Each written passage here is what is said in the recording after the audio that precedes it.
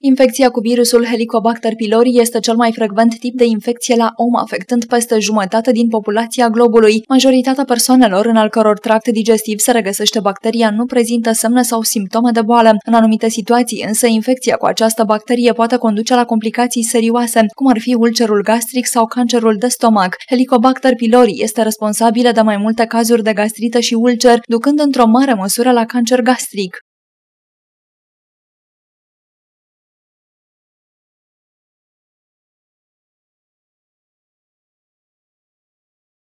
Un rol foarte important um, și um, care se discută de o bună bucată de vreme este rolul bacteriei Helicobacter pylori în apariția ulcerului și în transformarea acestuia malign, adică evoluția lui spre cancer.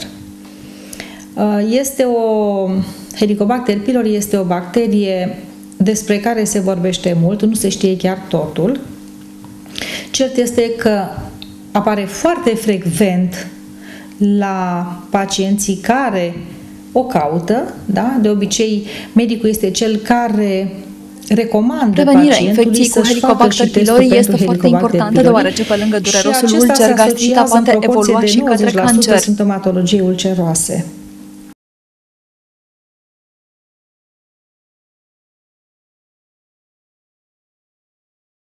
Pentru tratamentul acestei bacterii există Uh, pentru eradicarea ei există scheme de tratament Datele foarte bine puse arată că această bacterie este implicată în aproximativ 10% din cancerele de stomac. Riscul de cancer crește însă numai atunci când pe lângă gastrită persoana în cauză are un stil de viață dezordonat bazat pe o dietă bogată în alimente care irită stomacul. De asemenea, fumatul și factorul genetic au o contribuție importantă în apariția acestui tip de cancer.